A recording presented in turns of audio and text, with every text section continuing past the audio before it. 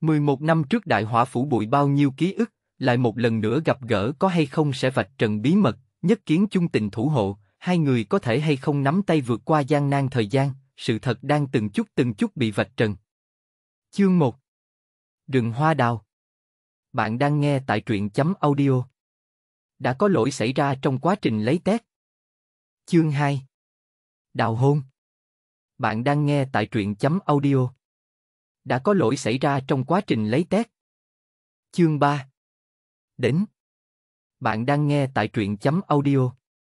Đã có lỗi xảy ra trong quá trình lấy test. Chương 4 Lần đầu gặp Bạn đang nghe tại truyện chấm audio.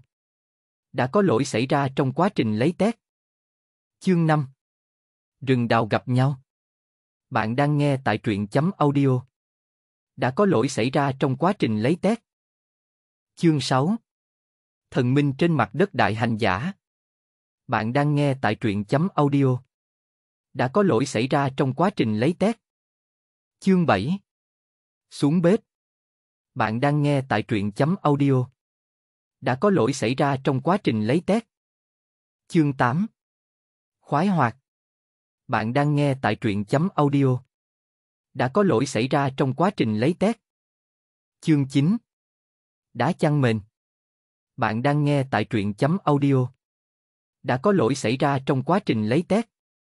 Chương 10 Đắp chăn Bạn đang nghe tại truyện chấm audio. Đã có lỗi xảy ra trong quá trình lấy test.